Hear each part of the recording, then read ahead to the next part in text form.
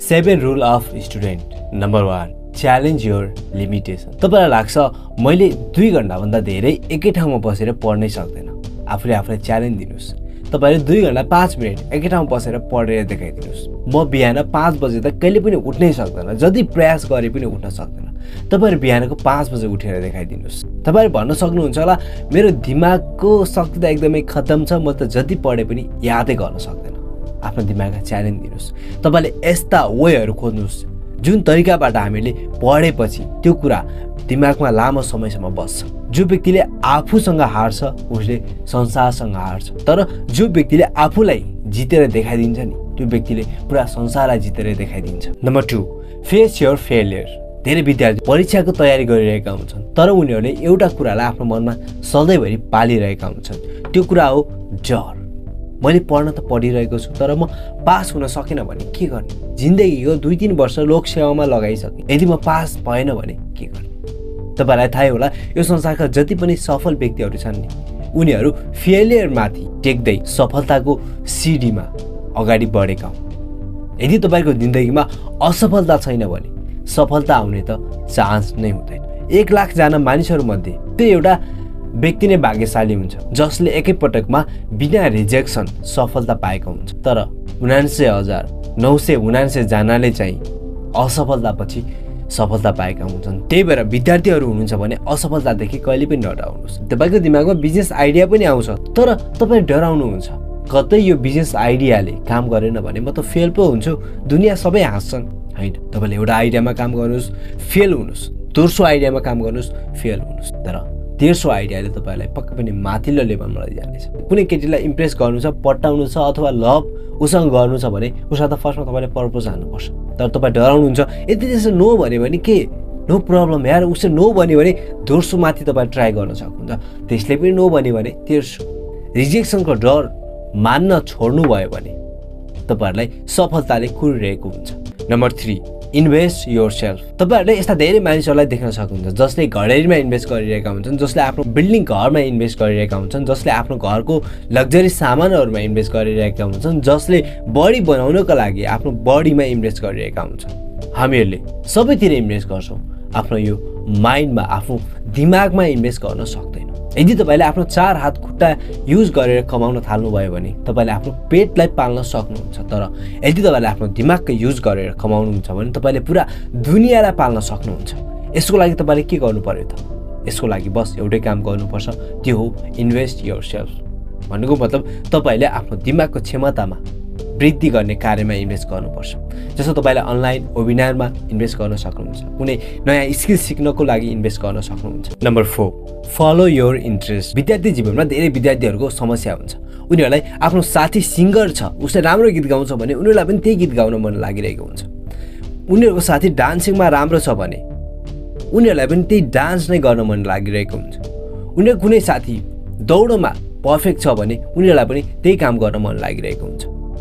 कुनै साथी एक्टिङमा राम्रो छ भने उनीहरूलाई पनि त्यही काम गर्न मन लागिरहेको हुन्छ। तर हामीहरूले सबैभन्दा पहिले के कुरा बुझ्नुपर्छ भने दोस्रो मानिसहरूले के गरिरहेका छन् तपाईँलाई म्याटरको कुरा भएन।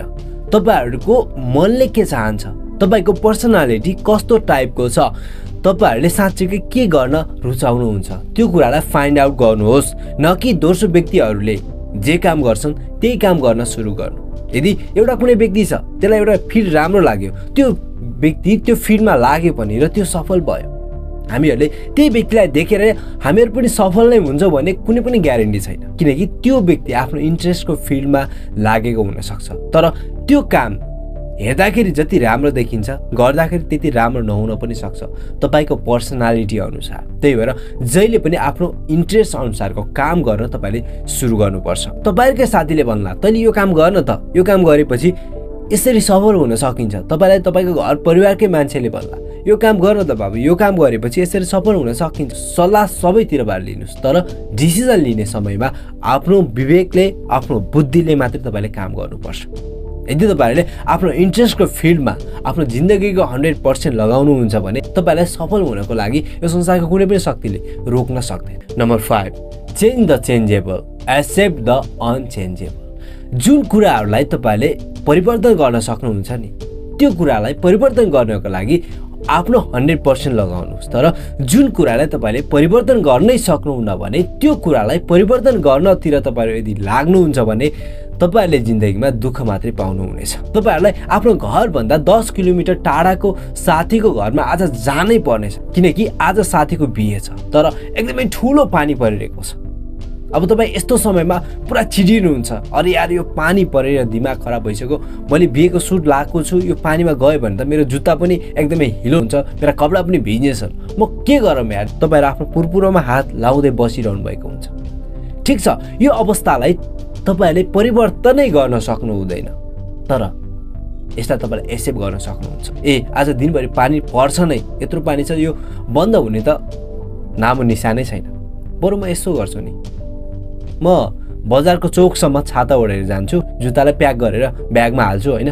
अनि त्यसपछि त्यहाँ गएर म अटो लिएर साथीको घरमा जान्छु। साथीको घरमा गएर मैले कपडा चेन्ज गरेर त भइहाल्यो नि। यसरी तपाईँले त्यो अवस्थालाई स्वीकार गरेर एक्सन लिनुहुन्छ भने तपाईँहरू साथीको बिहेमा पनि जानुभयो तपाईँको कपडा पनि फोहोर भएन तपाईँलाई पानीले पनि भिजाएन।